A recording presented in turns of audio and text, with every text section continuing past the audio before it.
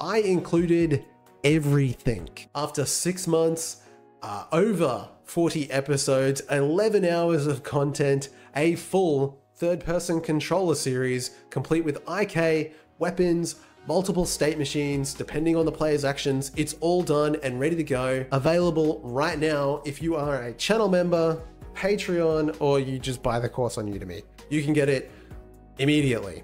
Other than that, it's going to be tomorrow for the first episode and then every week ongoing until I run out of episodes to post. The question is a third person controller, kind of like my first person controller, that was three hours. Why is this one 11 hours? And the reason is because I included everything. We'll go from blank canvas to capsule to full control rig and finally a weapon controller. I'm going to show you how and I'm going to explain why I'm making the decisions I'm making because when you're making such a complicated controller, there isn't one right way to do things. So I'm going to tell you what I'm doing and why, and occasionally we're going to talk about, you know, the alternative methods that you might be able to use.